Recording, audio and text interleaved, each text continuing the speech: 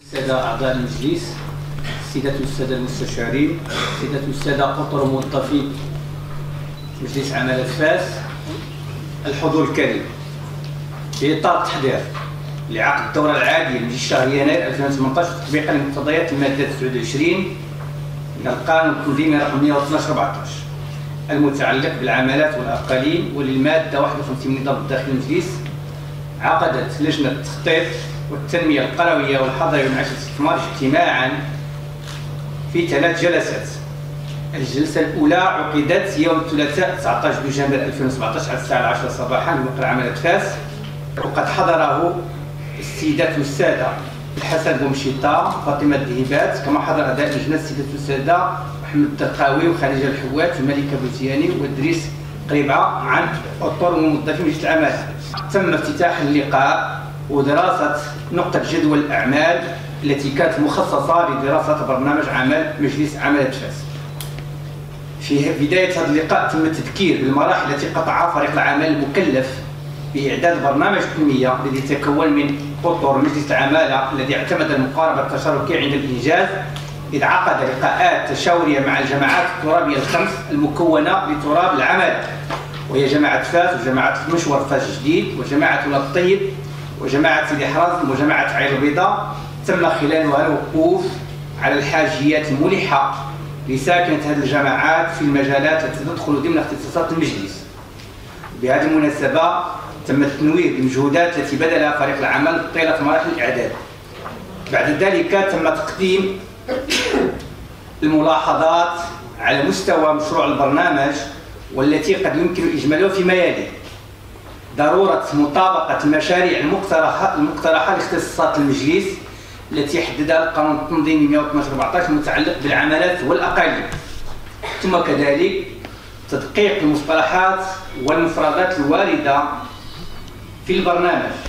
ثم توثيق الجداول والمعطيات ضمان تدقيق البرنامج التي يشكل وثيقة رسمية وخارطة الطريق لعمل المجلس. ثم ملاحظة أخرى التأكد من توفر الميزانية المقترحة لتمويل المشاريع. ثم كذلك مدى قدرة الشركاء المحتملون على الوفاء بالتزاماتهم حين الشروع في التنفيذ.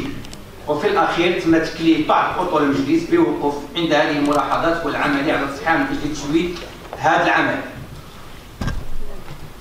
كما حضر أعضاء اللجنة سيد الرئيس السادة الحضور اللقاء الموسع الذي دعت إليه رئاسة المجلس والذي انعقد بتاريخ 20 دجنبر 2017 على الساعة العاشرة بقصر المؤتمرات وحضر أعضاء اللجنة إلى جانب أعضاء اللجان الدائمة وأطر وموظفي مجلس العمالة اللقاء كان مثمرا ومهما انصب على مدارسة جل الملاحظات التي تتعلق ببرنامج العمل وقد كانت على مستوى الشكل وعلى مستوى المضمون بلغ عدد الملاحظات لا يسع الوقت لذكرها ما يقارب 28 ملاحظة. هذه الملاحظات تعهد فريق العمل المشرف على البرنامج بأخذها بعين الاعتبار في إطار الصياغة النهائية للبرنامج ليكون ذو جودة عالية ومقبولة.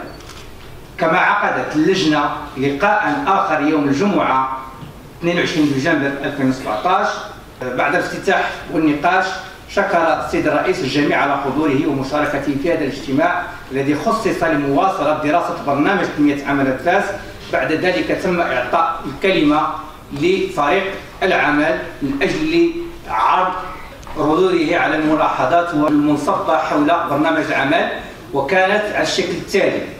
تبني لجنة التخطيط والتنمية القروية والحضرية والمعاش الاستثمارات الملاحظات المقترحة التي وردت في الاجتماع الثالث أي اجتماع يوم الأربعاء 20 دجنبر 2017 ثم كذلك مراجعة الجدول الزمنية لمشروع القرية الرياضية السياحية بالجماعة الترابية والطيب باعتماد سنة 2019 سنة انطلاق المشروع عوض 2020 إيجاد حل لمشكل إشراف الجمعيات على عملية تزويد الساكنة بالماء الصحي للشرب بعد ذلك تم إعطاء الكلمة السيد نائب رئيس مجلس العمالة السيد عبد العزيز بن دهمية الذي قدم توضيحات بخصوص استفسارات وتساؤلات السادة الأعضاء إذ أشار إلى أن المعطيات الواردة في برنامج التنمية دقيقة ونابعة من التشخيص الترابي ومن خلال اللقاءات التشاورية مع ممثل الجماعات الترابية المعنية.